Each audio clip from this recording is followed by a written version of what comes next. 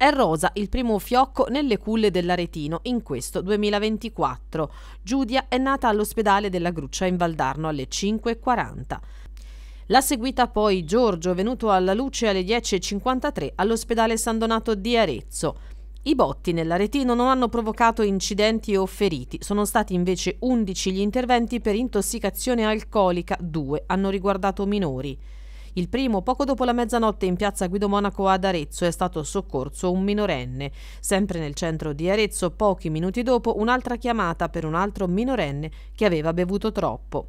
Numerosi i casi in tutta la provincia, da Monte Stanzavino a Foiano fino al Sodo di Cortona e ancora a Castelfranco, in Val di Chio, Peneto e Prato Vecchio. Durante la festa in piazza Sant'Agostino ad Arezzo una persona sarebbe stata aggredita poco dopo la mezzanotte da un uomo che poi si è dileguato tra la folla. Sul posto i sanitari della Misericordia indagano i carabinieri. Infine, sul fronte degli incidenti ne è accaduto uno proprio pochi minuti prima della mezzanotte a Ponte Buriano, nel tratto della nuova viabilità a ridosso del ponte provvisorio. Un furgone con a bordo due persone si è scontrato con un Audi, a rimanere feriti i conducenti, un 72enne che guidava il furgone e un ventenne alla guida dell'auto. Un tratto, questo, non nuovo agli incidenti stradali.